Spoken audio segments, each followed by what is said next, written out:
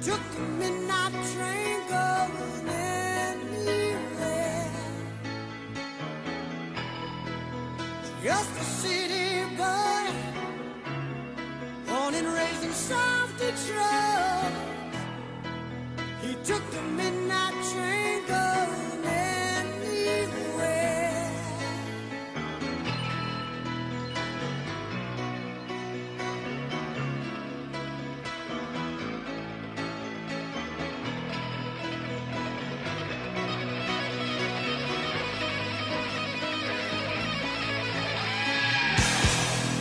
singer in a smoky room.